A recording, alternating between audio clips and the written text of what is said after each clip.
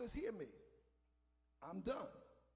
If, if you want to be uh, in a place and position where your son or your daughter, your children, your, your children, children that, that you made, children that God gave you, you want to be in a place where they call on you, where they look to you and look up to you, then we must be a father like our Heavenly Father.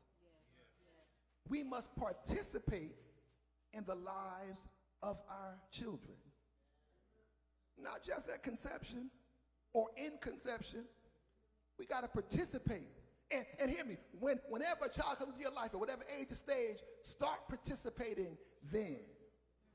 Let them know that you are not just fixture, that you are that you are there to engage and to connect and to grow and love and lead. Participate their life, in their journey, and their struggles. Don't let them walk by themselves. Now, I know, I know, there's some things they got to learn on their own, but even if they got to learn on their own, let them know that if the rubber hits the road and the bottom falls out, that I'm going to be there with you, that you got me as long as I am.